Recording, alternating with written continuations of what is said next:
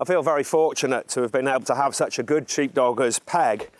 But now I've got her understudy, her replacement, which is Gwen, who's got to fill those big footsteps as my working dog. And you may remember I introduced her to you when she first joined the farm, when we were getting to know each other and I was sort of learning her commands. Well, now she's come on quite well, and uh, I can give you a little demonstration. It's generally considered that the best herding dog in the world is the Border Collie, and that's what Gwen is. And it's been bred into them, that herding instinct, and they want to get around the flock or herd. They want to be the other side of the handler, so to 12 o'clock from where I am. And they'll round up anything. If anybody's got a Border Collie as a pet, you'll know that they'll want to chase a child's bicycle run after a car wheel that's going round, maybe even water coming out of a hose pipe. They just want to round things up that are moving. It's instinctively within them, or most of them anyway, not all, but pretty much uh, a border collie that's bred for working will work. Now, the commands are to the right, to the left, stop and walk on. Those are the basics, and then it gets a little bit more complicated that, than that as a dog becomes more advanced. And when a sheepdog is far away, what you don't want to be doing is bellowing, shouting to it all the time. So then you convert those commands to a whistle. Some people will stick their fingers in their mouth to whistle or just whistle through their teeth, but I use this, which is a Logan whistle. Mr. Logan was well known for being a fantastic sheepdog trialing man and invented the Logan whistle that lots of people use now all over the world. Still no sign of the dog. That's a walk-on whistle. And here he comes now, way over to the left. He's gone right round the back of the trees. And now he's coming onto the sheep. Now, what you do is put the right whistle to the right command. So my away is a specific whistle, my left, my stop, and my walk on. So what I'll do is I'll send Gwen off and uh, give you a little bit of a demonstration. So stand is her stop command, stand, stand, and then her left-hand command is come by. And what she'll do is she'll run off to the left-hand side of those sheep, taking a nice wide berth all the way around them so that she gets right up round the back of them and then instinctively wants to bring them towards me. So she's done that, she's run right round and I'll stop her and she's just led down really nicely. Total control, that's absolutely brilliant. And then bringing the sheep towards me nice and slowly. Her walk on command is steady or They've got fantastic hearing, so you don't have to blast a whistle out. Just want to move around to the left that's a left-hand command that she took really nicely. Sheep aren't in a hurry, they're not belting up the field towards me. A nice steady walk, not stressing them too much or tiring them out. And she's got what's called natural balance. She just keeps the right distance away from them to move them steady and using her own intelligence. So if they move left or right, she'll move without a command to bring them towards me. They're nearly here, just walking on nicely. If I walk back a bit, they'll come past you. On, steady, steady. Away.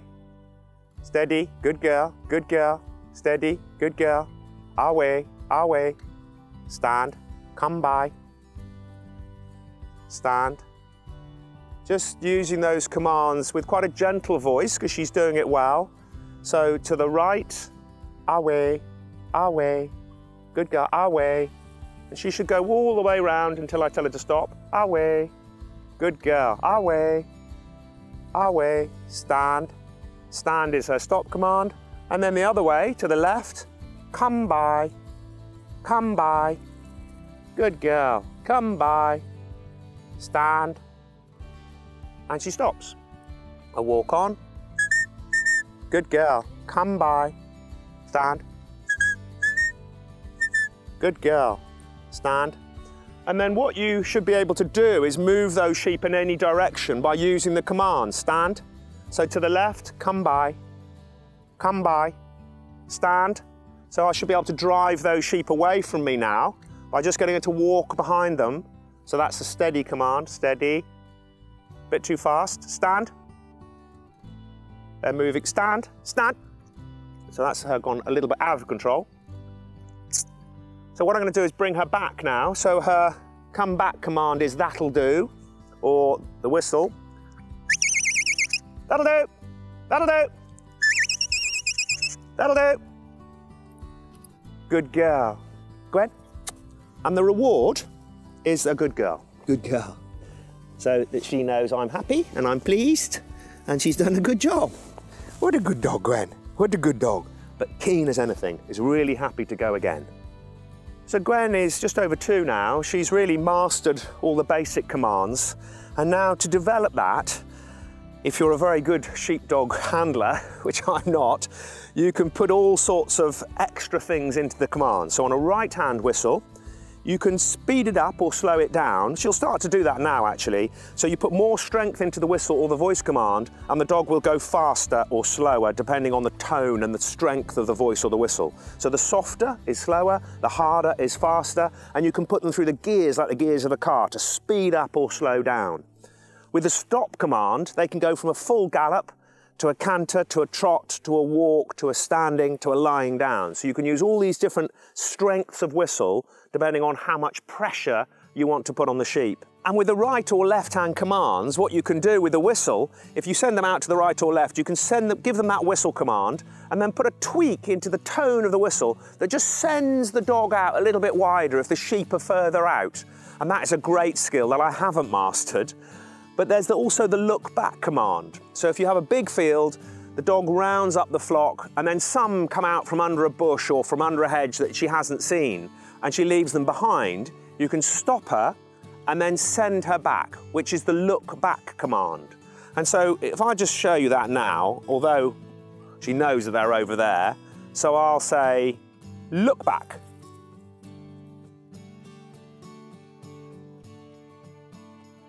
And so she's learnt that and reacts very well. And then what I need to do now is come up with a whistle to put to the look back command. So my stop is, my right is stop, my left, stop, my walk on, and my come here. But what I haven't got yet is a look back whistle. So I probably need to, need to phone up Mr. Logan and ask him how to do it. But it could be, or, or whatever you want. But I just has to be really, really consistent. If you get the whistles wrong, it's like speaking a foreign language to your dog. They just don't understand it. And it's highly advisable not to have a bag of crisps or a chocolate bar before you start whistling, for obvious reasons. Away, stand. These boys are strong.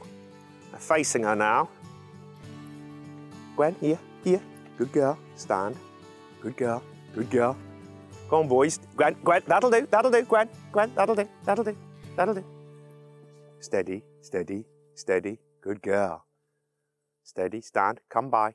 These are powerful rams that are quite belligerent and strong and you know, strong in the head because they think that they're the boss and they're facing Gwen.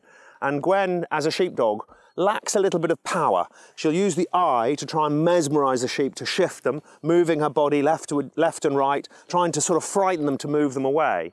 But they'll turn and face her and try and butt her, and she'll back off. And as soon as she backs off, they know that they've won and they then won't move. So sometimes I have to walk in to give her a hand. Whereas a more powerful dog would stand its ground and the sheep would know not to go anywhere near it because they'd be frightened about getting bitten.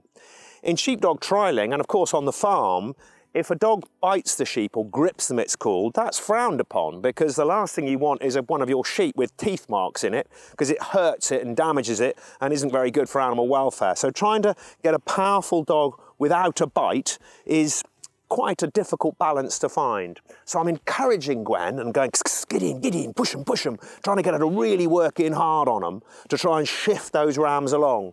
But it's difficult. With younger sheep or with ewes, they'll move freely.